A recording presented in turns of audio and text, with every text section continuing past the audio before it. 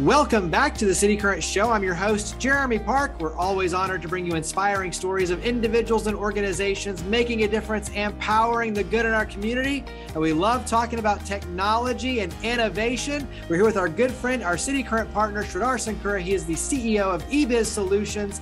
And how are you doing, Sridhar? I'm great. How are you, Jeremy? Doing very well. So, your world is all technology, innovation. You help us in so many different ways when it comes to City Current and our efforts to leverage technology. And your world is also digital transformation. And so, when you talk about eBiz solutions, give us some context for the company, and then we'll dive into all of these trends that are taking place and the importance. So, how do you describe eBiz solutions? Sure. Uh, our mission for eBiz Solution is to guide companies to take uh, uh, reach their digital potential using uh, technology, right? So so that they could be a they could be the masters in their area of business um, and it which is changing constantly right? So the transformation is, is a constant thing right now. It's not like one once and done and you are now growing. So it is continuously changing. So our main goal is to guide companies to reach their digital potential through consulting right? Through technology implementation right? So those are the two areas that we focus. I'm looking at it from my standpoint of not just with City Current and helping us to shift and be online with an e-learning platform and you know hybrid events that are virtual now, but it's the idea of thinking digitally first. And so yeah. restaurants, service-oriented companies, products, I mean literally like every company now should be thinking about how do you interface online? What does that look like? I mean, you get into the nuts and bolts of artificial intelligence and big data. So, I mean, dive into what it means to be a digital first company. Yeah, so that's a great question. So, digital first is a lot of companies prior to COVID, people were thinking more about from a company perspective, right? Company makes like, oh, we'll do the digital first. But the shift has happened now. Consumer sees the world as a digital first, not companies looking at digital first. Now companies are scrambling to make sure that consumers, the what the demand is we are giving. For example, if you now you said restaurant, right? Now consumers are demanding, I don't need to have a menu in my hand. I need a QR code, which was not there before, right? Consumers are not asking the companies are putting it down and consumers are saying, oh, I want what I need this. But today they've changed the whole thing. Here, recent, like yesterday, I went to pick up my car from servicing. They didn't give me, they didn't take my credit card, nothing. I got a text to click on a link to pay online right there. Right. So this touchless and this whole thing that's driving from the consumer side, not from the company side. So now companies are trying to catch up to the, the digital world that consumer wants to live in now. And a piece of that too, I think, is being driven by the pandemic. And so when you look yeah. at the trends in technology, like the QR code for a restaurant, and that's not just with chain restaurants, that's mom and pop, that's that's like every yeah, restaurant now. Everyone. Yeah, and a service center like you're talking about, sending you a text to pay, you know, for your credit card. So Talk about what the pandemic has created in terms of new challenges, but new opportunities, obviously, for organizations and companies. Yeah, definitely. I think what pandemic has really taught everybody is how to digitally transform. Now the transformation is now picking up, but it's only a piece of transformation that has happened. So if you have seen within digital transformation is not just about technology, it's about culture right and and because that's a big part of the thing that that really didn't um, didn't let a lot of transformations happen because culturally people didn't want to change. But this pushed everybody to change, right? So, for example, anywhere, any anytime, any device, right? Now you want to work anywhere you want to with any device you have in front of you, right? At any time. So that has changed. That has opened up so many opportunities for companies, but also from a cultural shift. People now are saying, okay, I can be at home and work. Look at everybody's homes are transforming now. Everybody's home has like high speed internet, right? So you have all this gear to work from home, right? And then you see not only um, from home, but offices have changed because now there's a huge hybrid offices, right? So you can't sit in a conference room and go on a video call.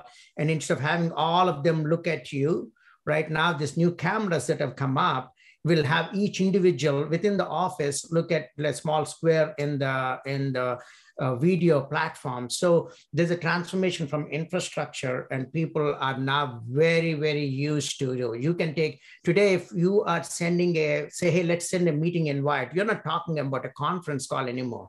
You're just talking about a Teams or a Zoom or a WebEx. So that is becoming a norm. So if you say conference call, you have to specifically tell them, I'm going to make, do a conference call, which nobody really wants because you can't get a lot of things done through conference call. But if we are like this, right? So you can, I can quickly share my screen and show, hey, here is what I was talking about. Hey, let's talk about this. Let's collaborate this. It happens instantaneously. So that has shifted a whole lot.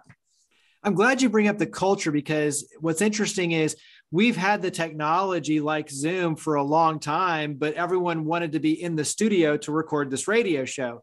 And now, because it's commonplace, it's it's become culturized, normalized. You know, everybody you know understands it. Now, to your point, like you, we can do these interviews from anywhere. People on their phone, you know, on vacation, and so it's yeah. opened up the floodgates in a good way to be able to be much more efficient, to leverage now videos and, and do all these things that prior we had the technology, but it wasn't culturally normalized. And so, you know, to your point, certain things have to kind of match up for it to, to really take off um, and become bigger. And so the culture, the technology, the infrastructure, all these worlds colliding and forcing the hand leads to now us thinking differently about the workplace, about the interaction, about how we do work uh, moving forward. So talk about on your end, the consumer side, because I think the consumers, as you alluded to, are really driving a lot of the change as well, including the I want to pay, you know, touchless. I want the menu through a QR code.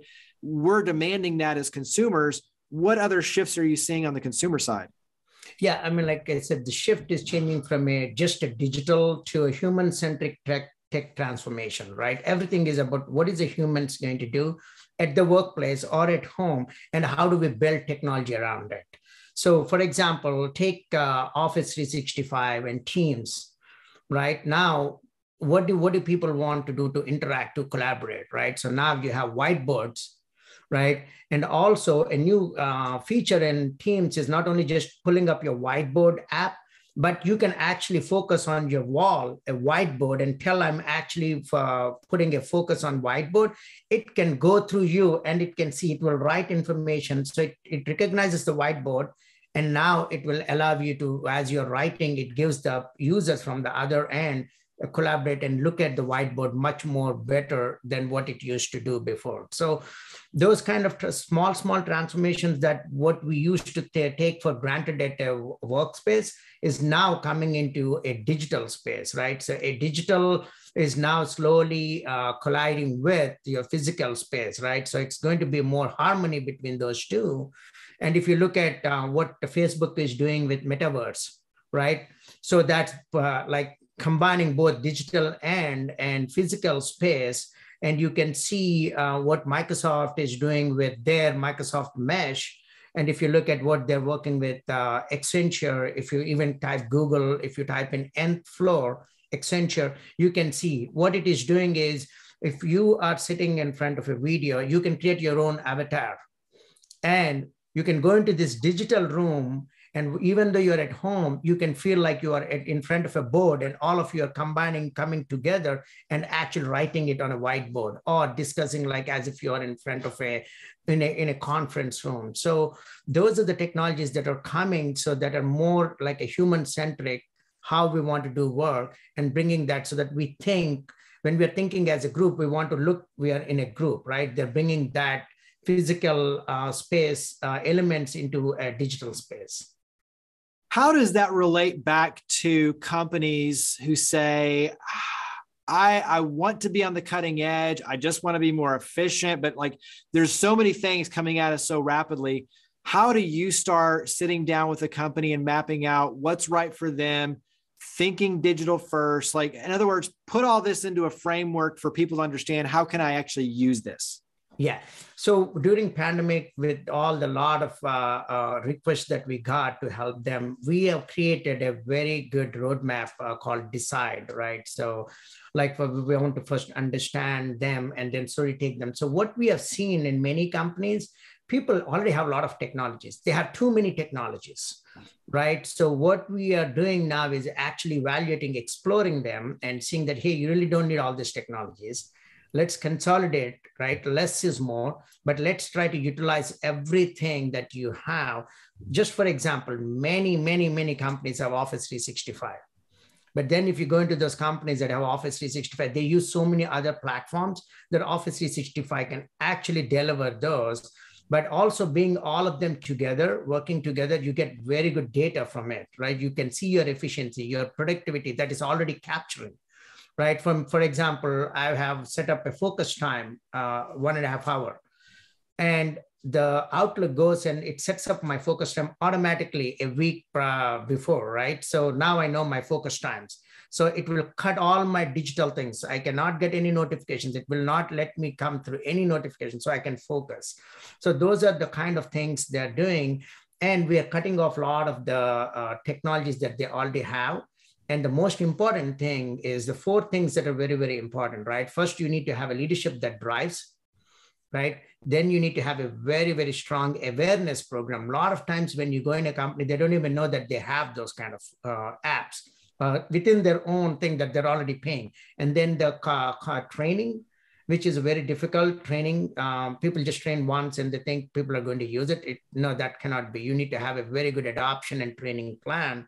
And most important at the end is the governance right? So if we are doing it, say, okay, these are the 10 things we're going to in our, uh, office. If I'm going to use OneNote for my all meeting notes, and if you're not using it, and I will send right after the meeting the OneNote, and you get frustrated because you don't know how to use it. And I get frustrated because, hey, that's a tool that was given to me, and now you're not utilizing the tool. So that is the first thing we do is go and see what do they have, how can we integrate, consolidate them, and then give a roadmap for them. Because today, what is happening is business units wants data very quickly. They want to make decisions based on the data and they want to create their own dashboards and all. And they want to put a ticket into the IT and IT is already bogged down with so many requests that they have, which is mission critical, high secured, so instead of that, the new technologies like low code, no code, right? That's a big word. If you if you just type it in Google, you can see how much attention it is getting. Like for example, in Microsoft, it is uh, Power uh, Power Platform. That's a low code, no code. Oracle has Apex, right? Um, uh, Salesforce as Lightning and then you have aws um, too so there are many of these platforms that are giving so you as a like for example marketing head you can pull drop drop drag what you want and you get your dashboard, you get your data, you can make your decisions. You don't have to wait, right? So the low code, no code is really, really going strong. And it is good because business can quickly get information they need without waiting for long term, uh, three months or six months from IT to deliver because they got too much work going on for critical things that they're working on.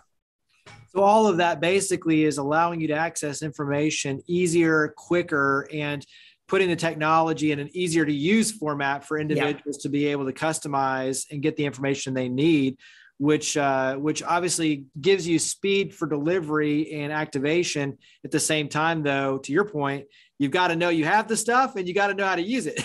Yeah exactly. That's the key is you should know you have it and you know how to use it and you know what to use within the framework of your company right? So that's what the big drive is.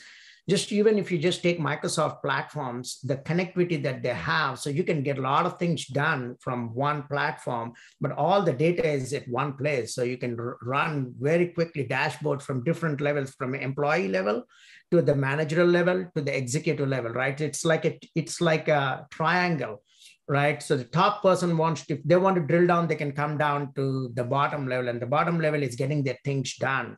And they know where they are, how they're doing uh, among their peers and everybody. The next tier is how is my department doing? I have that. If I want to go deeper, I can go into deeper. And the executive is how are all of this combined is giving the metrics that we want. Either it's a profitability, right, or the productivity or the efficiency of the company one of the things that you're very good at is identifying gaps and basically coming in and saying okay let's let's put everything out let's map it out let's talk about where you want to go and let's look for gaps and challenges and opportunities to really find a big ROI and, and create value um, that wasn't there before. What are maybe one or two tips or questions that you like to ask? So, if I'm a business leader and I'm trying to figure out, okay, where can I go? Where can I take this? What's something I can do different? How can I be more efficient? How do you go about identifying those gaps, but most importantly, identifying new opportunities? Give us maybe a little bit of a teaser around helping individuals find ways that they can leverage these new opportunities? Sure. I think what we have done is uh, we have combined the technology um, questionnaire with the with the psychology questionnaire, right? So first understanding the behavior of people, because we can have two companies that do the same thing, but they want to run differently, right? So the way of, the first we start is why. Why are they doing certain things, right? So we look at all their processes right across the board and connect all the processes through what we call is a global architecture right? So we connect every department their processes the tools and how each one is even connecting together. It's more what we call is a plumbing.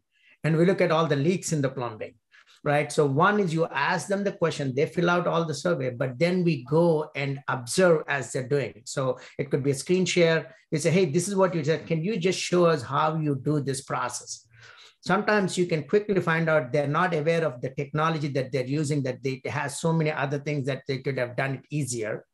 And so that's a lack of awareness and training or the tool itself is not the right tool or the process itself is not the process.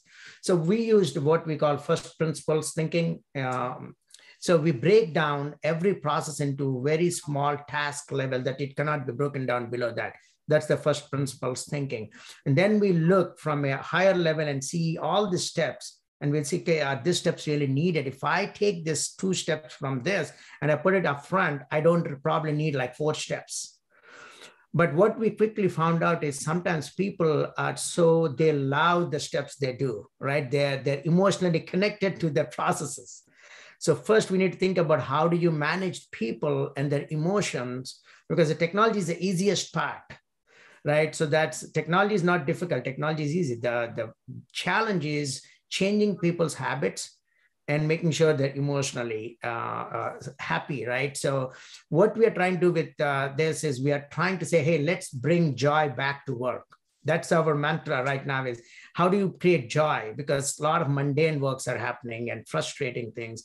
We look at all of those repetitive manual process, resource uh, a lot of if it's taking a lot of resource we look at those and see how can we optimize those so that those resources now want to do things that they really love to do rather than doing things because they have to do.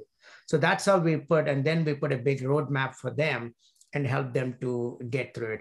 It's a very simple thing we do. If you don't get an roi in six months or one year don't do it because that's where you get all the shiny objects right? You won't get an roi you need to get an ROI, whether it could be financial, it could be even time that they're giving back to the employee so that they're happier. So all of those, they need to see some ROI. The beauty of what you're talking about too is it's it's technical, but it's also too psychological. And that's why like I, I love on your end that you think the technical side, but you also look at the behavior, the psychological side, because that's just as important when you talk about really creating the the ROI, the productivity, the increase, the happiness, all of those things are just as important. So you you, you run on both sides of the equation, which I think sometimes people get stuck on one side or the other, but it's like yeah. you actually have to factor in both. Wrap up on your end with where we can go to learn more about eBiz Solutions. Where can we connect in? You do a number of um, white papers and podcasts, and you're always putting out good information. So, where do we go to find you, access the information, and uh, learn more about eBiz Solutions? Sure. Uh, our website is uh, thinkebiz.net. So once you go there, you can see our blogs, and we also have uh, our all our social channels there. You can go from there. So we are now getting so much into, as you said, like education is very important. So we started like starting writing blogs about what changes are happening and how you can get in. And the beauty about right now is all small and medium sized businesses can be as good as the large enterprise because of how technology is now to everybody, right? So it's easy accessibility to everybody. They just need to have a good plan and understanding what they really want, what they mean by growth. Absolutely. Well, Sridhar, thank you for all you do. Thank you for being a City Current partner. Greatly appreciate it. Thank you for coming on the show. Thank you for having me on the show.